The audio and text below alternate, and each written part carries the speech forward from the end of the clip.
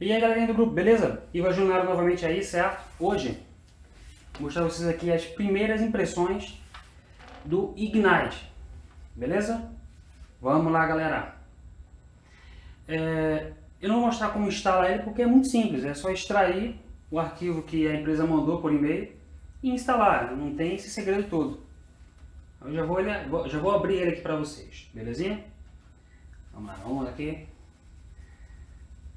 olhar o Ignite.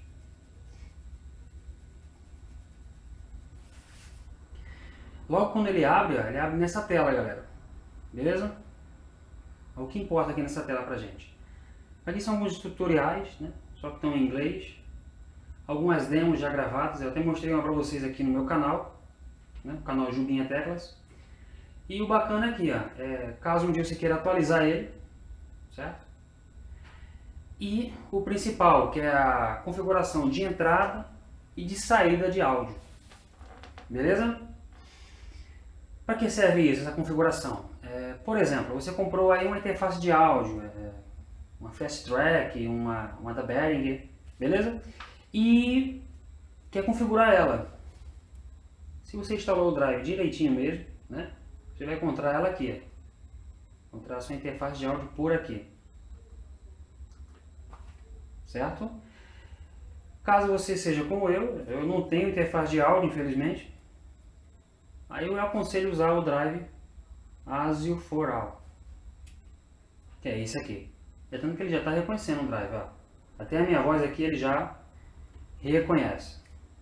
Feito esse processo, ele deve vir em mono, o de vocês deve vir em mono, você coloca ele em estéreo, galera, certo? Estéreo é uma qualidade melhor e você vai em close. Você fecha aqui. Beleza, Ivan. Fiz isso. Né? Tá aí o Ignite. E agora, o que eu faço? Eu participo de uma comunidade no, no Facebook em que é sobre o M-Audio Oxygen, certo? E tem como, o Ignite ele se configura né, com Oxygen, com Keystation, né? No outro vídeo eu deixei uma lista enorme de controladores em que o Ignite se auto-mapeia, se auto-configura. E para se auto-mapear com Oxygen é simples. Você tem que ver se está no canal MIDI 1, certo? Depois disso você aperta aqui o botão Select do seu, seu M-Audio, Oxygen. Vai no botão, né? vai apertando o botão Select até encontrar a opção P. Encontrando a opção, a opção P, você aperta tanto no mais como no menos para encontrar a opção P10. Beleza, galera? Só funciona a opção P10. Achou essa opção, a P10, aí é simples, é só fazer esse processo aqui como vou fazer agora no Keystation. Aperta nesse tecladinho. É, vejam como tá, tá tudo azul, né? Certo? Ele vai se automapear. Né?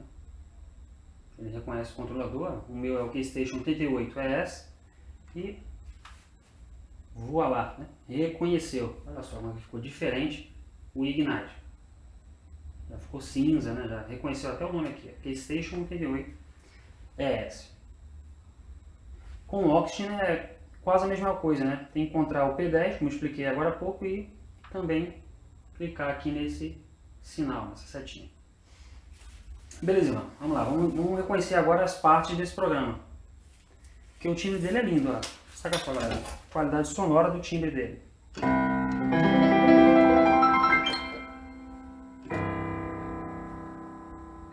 Certo? Eu mesmo acho muito bonito o timbre dele. Né? Ele já abre com o timbre de piano e abre nessa opção de equalização. Ó. Tem aqui o hard ataque, a tonalidade, né? tem todo o processo. Ó. Um account, certo? Você vai dando uma mexida, dando uma, uma sacada, que aqui já é, uma, é um tipo de equalização do timbre e além dessa equalização mais, mais rápida, mais simples, também tem o FX, que é a equalização mais complexa. Você tem aqui os seus dois reverbs, né? tem aqui compressor, equalizador, distorção, né? delay. Ó, esse delay aqui, por exemplo, vamos testar ele. 4, deixa eu ver aqui, 2, por exemplo. Olha que louco, ó. bacana, né? E você vai fazendo, vai fazendo todo o processo aí, equalizando o seu timbre, certo? E beleza, essa área aqui é a área de equalização, Ivan. Tranquilo. Essa, esse outro símbolo, o que significa aqui, esse outro ícone? Aqui é a área dos timbres, né? Porque o, o Ignite, ele é um home studio. Você já tem aqui todos os timbres à sua disposição. A bateria, contrabaixo, o timbre das teclas, que vai envolver aí sintetizadores, pianos acústicos, né? Synths, né? São pads, né? muito bom. A guitarra, timbre de guitarra. As cordas também são lindas, as cordas deles, ó. Saca só. Orquestral. Ah, ok. Sinalzinho de mais, um novo timbre. Aqui muda de um timbre para outro. Tá, o piano eu vou trocar para as cordas. Ó. Olha como é, é bonita a qualidade sonora.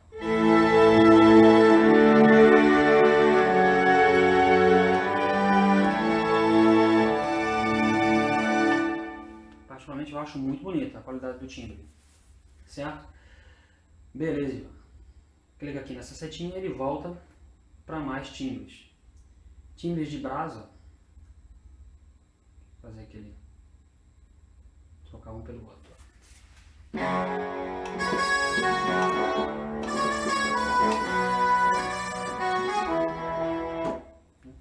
Muito louco, muito bacana. E tá aí, a quantidade de timbres muito legal. Ó. Chega numa parte bacana também que é a parte do áudio, certo? Você pode estar, por exemplo, caso você tenha a sua interface de áudio, você espeta ali a guitarra e vem aqui, ó, sem um efeito ou com alguns efeitos pré-determinados e grava, né? Grava o áudio, fica muito bacana também. Áudio da guitarra, do microfone, né? certo? Beleza, a área do timbre, aqui é a área da equalização do seu timbre.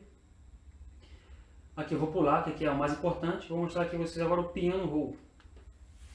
O piano roll é para você estar tá controlando o MIDI dele, certo? Ó, por exemplo, ó, deixa eu só baixar aqui. Esse é o metrônomo, deixar o volume dele um pouquinho mais baixo, para não atrapalhar. Vou gravar um time de violino, para mostrar vocês aqui. Esse aqui, esse violino. Olha que legal. Aperto a letra R, ele já vai dar contagem para gravar.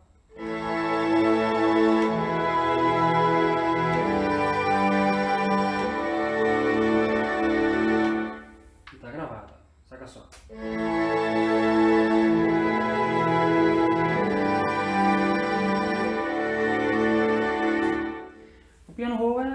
fácil, você tipo, não gostei dessa nota aqui, vou e apago ela, ou então quero ela de volta, você vai editando de acordo com o gosto do freguês, né?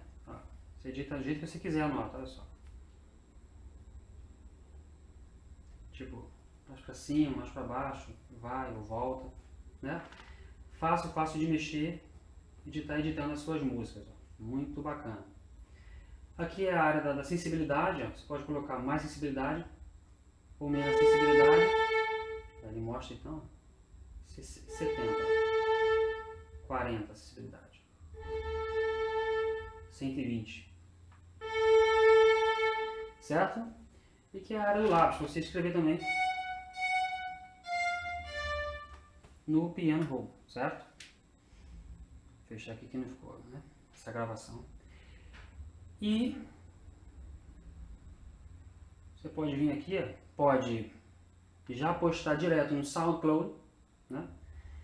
É uma plataforma de música muito bacana. Só é preciso você ter o Facebook ou o Twitter para abrir a conta, ó. é muito fácil.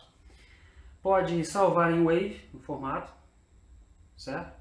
Pode salvar uma pastinha completa de DAW. E o que é interessante, galera, pode salvar em MIDI. Como assim MIDI? Nas próximas aulas eu vou mostrar a você, tipo, por exemplo, você pode salvar a música que você gravou aqui no Ignite em MIDI, transformar ela em partitura, pode transformar ela, né, pode usar outro timbre, por exemplo, o timbre do Contact. Né? Muito bacana essa função. Vou mandar por e-mail, mas e-mail a galera não usa muito. E agora chegamos ao ponto mais importante, galera, que é isso aqui, ó, que eu deixei para o final, né? o grande final que é a parte dos kits, Como assim, João? O que é kit? O que é isso? Para mostrar melhor o kit a vocês, eu vou mostrar com um timbre de bateria, para vocês entenderem melhor. A grandiosidade, né? a grande sacada desse programa. Bateria, bateria de rock aqui. Pronto. Bateria de rock aqui. Vamos voltar lá para o kit. O kit é o seguinte, o kit são pré-gravações feitas pelo, pela empresa Ignite. Não são só uma ou duas não. Né? É uma porrada de pré-gravação. Olha só que loucura. Ó. Só de bateria. É um monte, é um mar de, de, de, mundo. Olha, muita mesmo. Muito bacana. Sem contar que além dessa quantidade incrível, né? Tá aqui assim. Opa. Quantidade incrível. Você tem ainda sete ritmos diferentes e cinco viradas. Certo? Beleza, mostra aí como é que funciona isso aí. Ó, por exemplo, o Dó. Tá um pouco lento. Deixa eu aumentar um pouquinho aqui o metrônomo dele. Vou botar 160. Opa, pronto. Olha como é que é a bateria. Agora ficou rápido demais. 140. Pronto, pronto. Aí. Virada.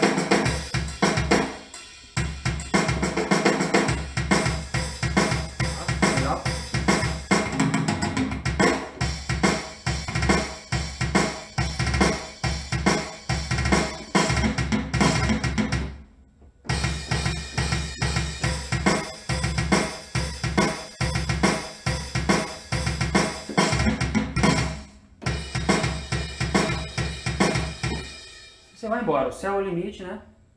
Esse baterista aí é fera. Loucura. Vou testar outro kit aqui para mostrar a vocês, ó. Alternativo. Vamos ver isso aqui.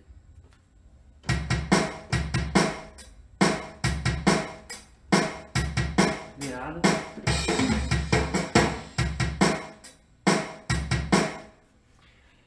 E você pode gravar, sai gravando esse kit, né? Tem aqui a sensibilidade, a intensidade, a velocidade.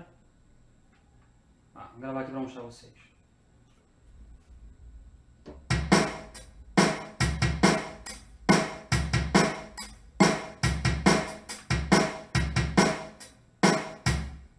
Aí.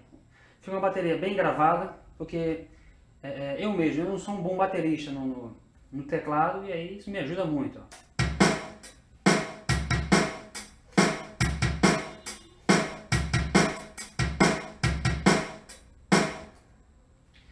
certo?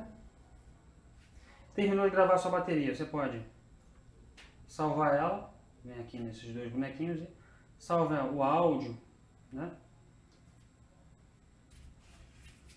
Por exemplo, bateria, teste.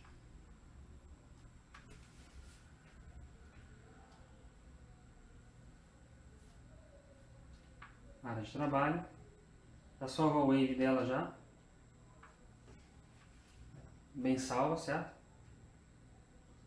Deixa eu fechar aqui para mostrar a vocês. Tá aqui, bateria teste.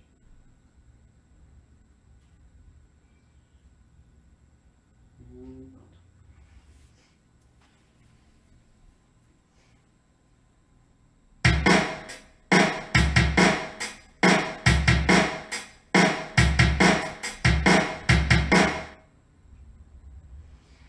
E é ótimo para trabalhar, fica bem gravado, certo? E é isso, galera. Espero ter ajudado vocês com esse grupo aí, com a, né, nesse vídeo, perdão, né, com as primeiras impressões sobre o Ignite. Ficou alguma dúvida? Deixe no comentário embaixo que eu respondo. Valeu e até a próxima, galera.